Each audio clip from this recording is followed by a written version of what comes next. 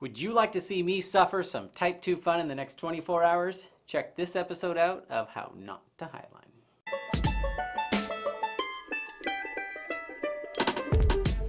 Hi, I'm Ryan Jenks and welcome to my gear room.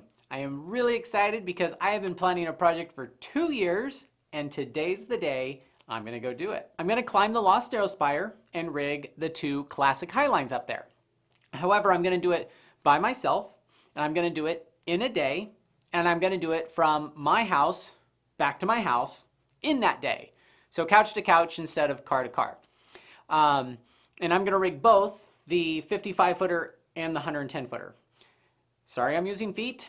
That's what we call them. This is gonna be pretty challenging because I'm leaving at nine o'clock tonight uh, because there's almost no wind between 8 a.m. and noon uh, each day. And I want to highline during that time, uh, and which means I have to climb at night. And hiking at night is always easier for that trail because the sun just beats on it uh, in the morning if you're to start early in the morning. So uh, it's going to be pretty challenging. I'm going to go through all the night and I'm going to be climbing in the night by myself, uh, self-belaying, aid climbing up, you know, the Lost Arrow Spire like you have to do. It's kind of technical. Um, it's only two pitches, but uh, we'll see how it goes. Now I've done a lot of prep. I mean, I've done a lot more prep than working out for this thing. So actually I've done very little working out for this thing. But uh, I, I think the magic is in the logistics. Um, and the idea is not to take up too much gear. And I am bringing enough stuff to make it completely safe and uh, legitimate highline anchors on both sides and legitimately connect it all up. So you can still go light and fast and still say safe and redundant. Um, at least that's the goal. I know I have enough stuff to do that. Let's see if it goes as well as I hope. But uh, this kind of uh, ambitious for me. Uh, back in the day, um, 2010 was the first time we tried rigging it. Um, well, I tried climbing in 2009 and we rappelled off the wrong tree and it started to rain. I couldn't even climb it the first time I went up there to try climbing it. Then the year later, I tried to uh, climb and rig the high line and I could only climb it, ran out of energy to rig. And then the next year, we did climb it quicker and we did rig it, but we had to rig it a separate day and it took four people seven hours to rig the 55 footer. So um, that the Lost Arrow Spire has kicked my ass for years now. Now I've had successful trips since then, but um, I, it's now my has been my dream to go kick its ass by doing it couch to couch on a weekend day, uh, in a day, by myself, both lines. Now I got everything packed really efficiently. Uh, the first thing on top of the bag is the, the rope I rappel off of. The next thing in there is my harness with all my gear already on it in the order of the pieces I need. And the rope under that is this uh, backpack that I wear for belaying myself. Um, I have done multiple big walls, and so I'm pretty comfortable with the whole uh, aid climbing, aid climbing in the dark, and self-belaying. Um, the combo of that makes it tricky, but uh, I have everything super organized. So when I get up there, I'm not yard sailing and flaking ropes for two hours before I can even start rappelling. The idea is five minutes after I get up there, I can start going down. And as I go down to the flake, which is where you have to rig one of the anchors, I'm going to pre-build that anchor so I don't have to go back to it after I go down and back up the other side. And that is going to save me a lot of time. Uh, rigging the 110 footer, I have to slide back and go over, but I should have enough time to be able to do all that. And I can use my climbing rope, since I'll be done with it, as the backup. So I've got uh, 50.5 pounds, including my food, my water, and plenty of warm clothes. I'm not sure how cold it'll be with the high winds.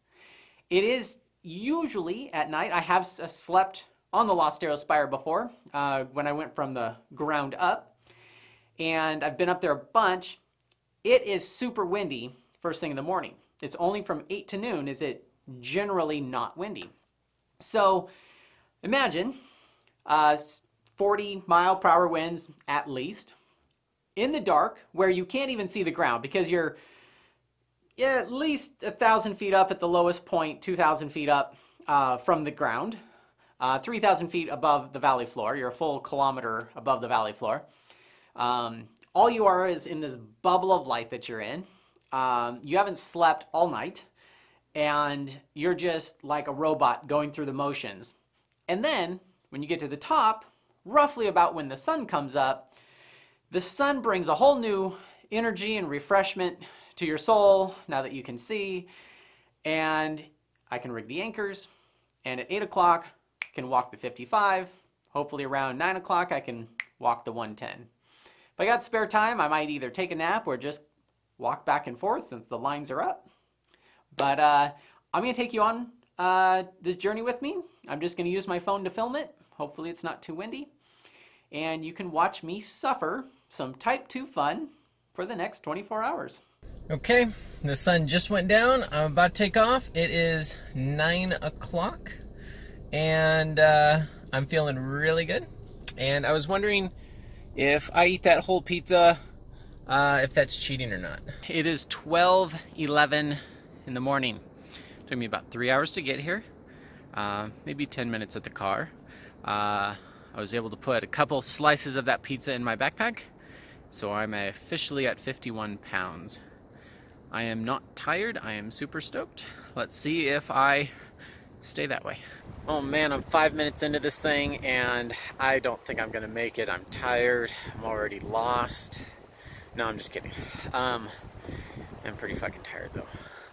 Uh, it's 4.15. Um, I got up here in about 3 hours 45 minutes, but I fell asleep trying to eat my applesauce just now. My rappel is set up. I had to come back up the hill so there wouldn't be so much wind that I couldn't do my video vlog for the section. Um, now, my priority is to get into the notch, see how I feel, go from there, one step at a time. There was a few low points on the hike. Uh, the first 75% was fine, and then uh, I, had to I had to fill up my water, filter my water at the river, which added another 10 pounds. oh, I had to keep stopping every five minutes after that. Um, but I'm up here, I'm ready, I'm awake-ish. See how this goes. Okay, I finally got my rappel set up. I'm on the rappel. The wind is uh, pretty aggressive, which makes it even colder out. And uh, wind's trying to blow me off this cliff, which is Okay, I just finished my first uh, pitch and I rappelled back down and now I'm gonna go back up start the second pitch. Okay I just finished the hard stuff. Now I only have a bolt ladder.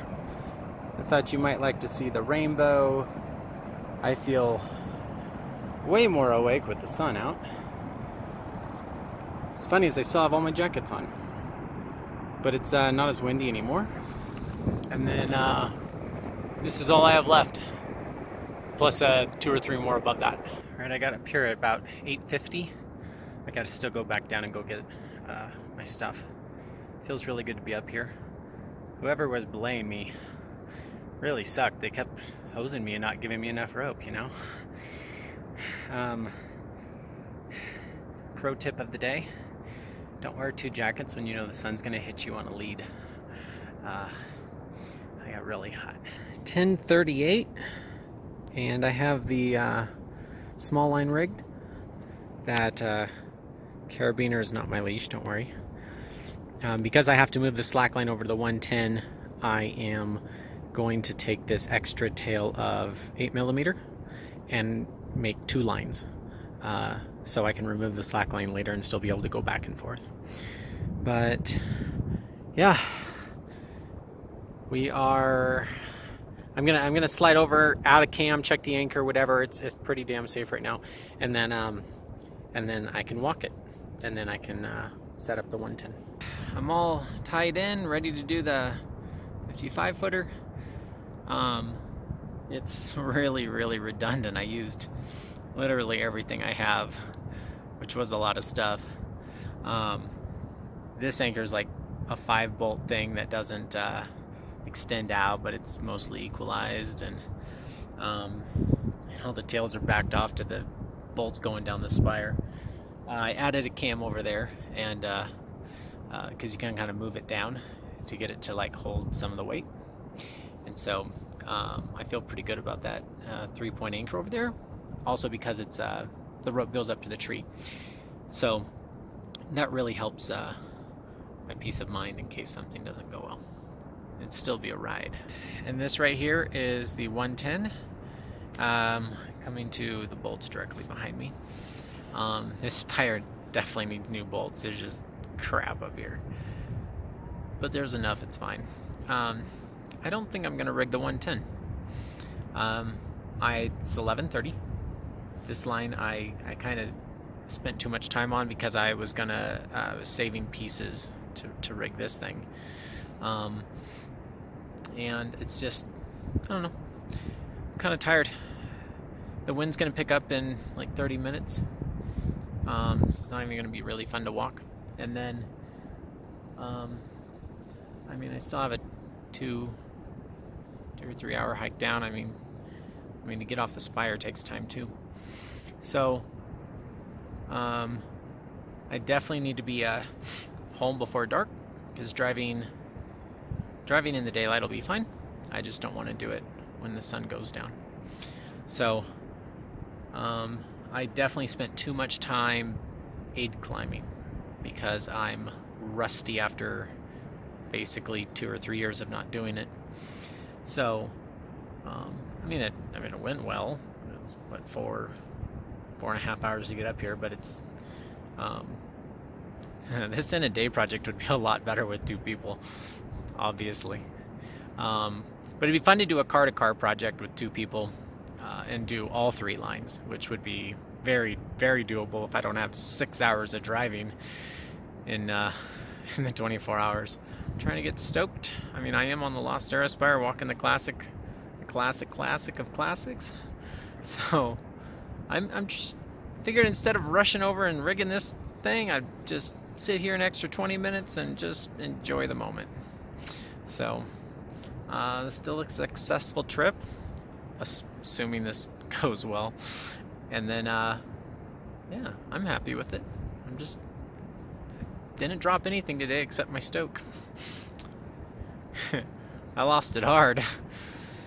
Anywho, I need to walk a highline. Ciao. Okay, I I full manned it. I felt I struggled. I uh, because I'm tired, and then I, I felt the flow, and then I full manned it. So did what I came out here to do. I am going to de-rig this. Now, people are always curious how to do a Tyrolean traverse. Technically, a Tyrolean traverse is these red ropes here, and you slide across, basically like a slack line, minus the walking. Um, but people call any time they go off the Lost Arrow Spire the Tyrolean traverse.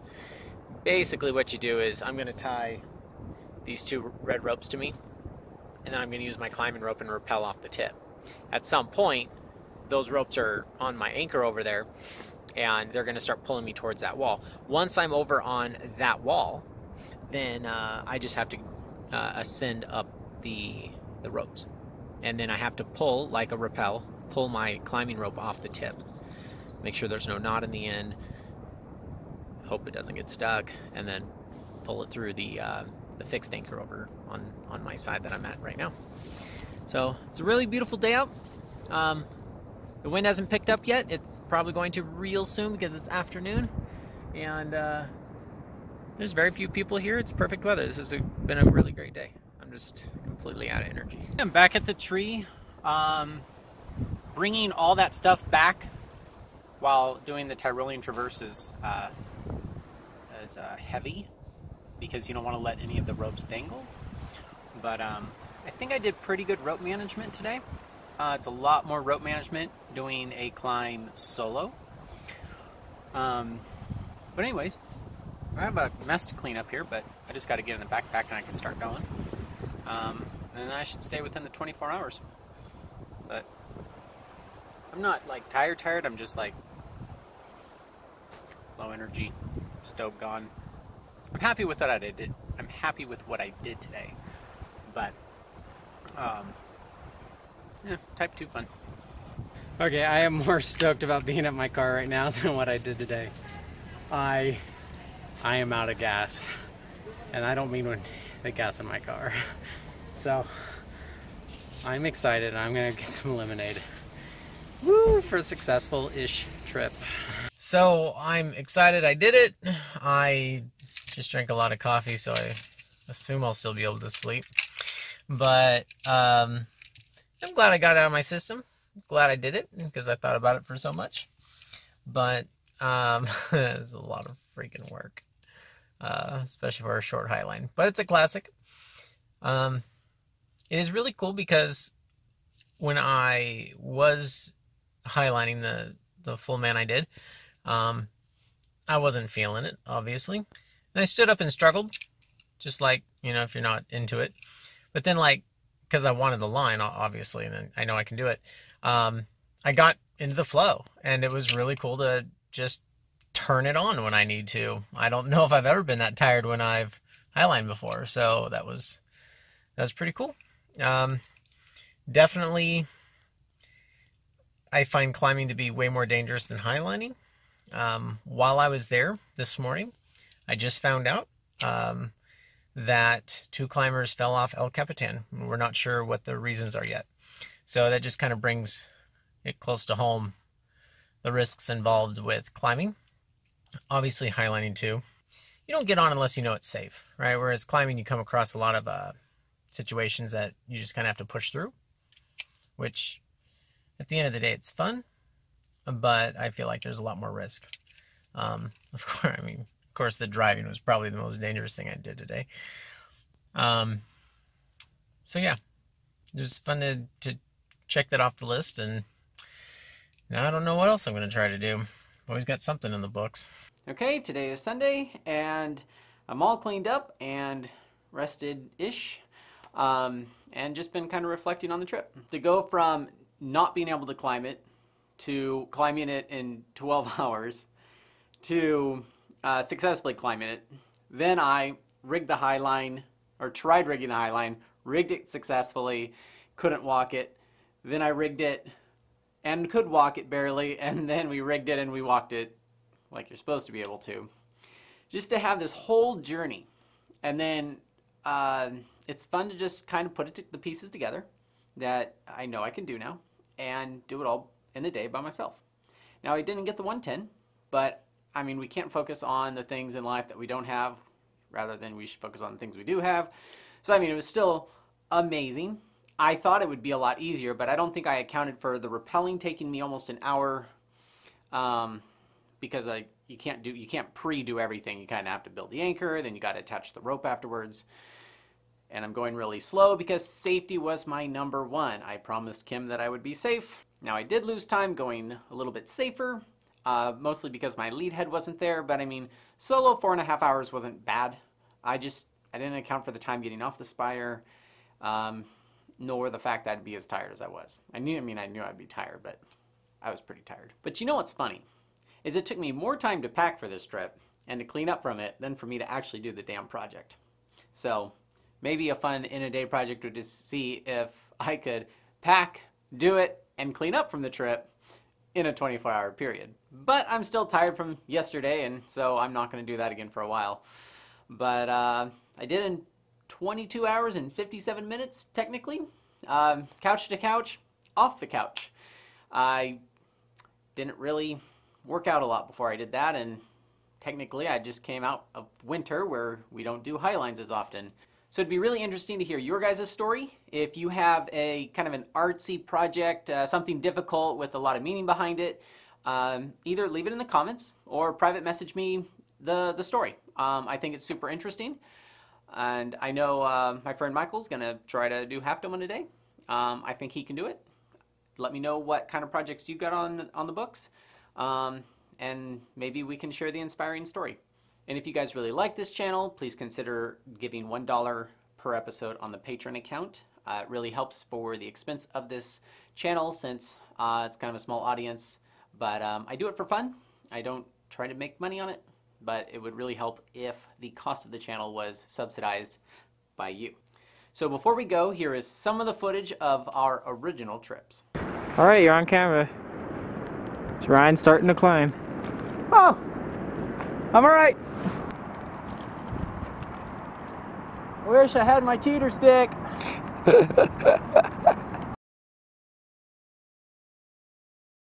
hey Ryan. I'm a whopping 15 feet. Woohoo! Ryan. Hey everybody. Where are you? on the tip of the spire. And as I was like doing it, it was at an angle. And I was on it. I, I saw it like chips coming off. It's like, I was like, oh please don't break. Let me swing. Please don't break. Let me swing.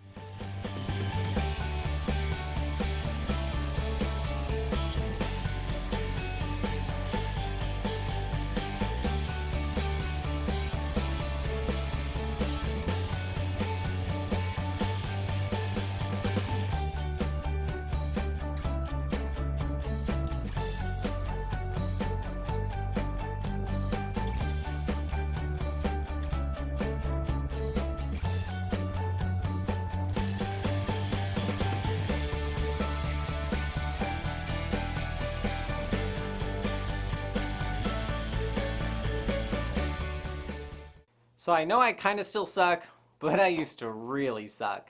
Can you believe the tension system I had on that short line? I also put it on the backup.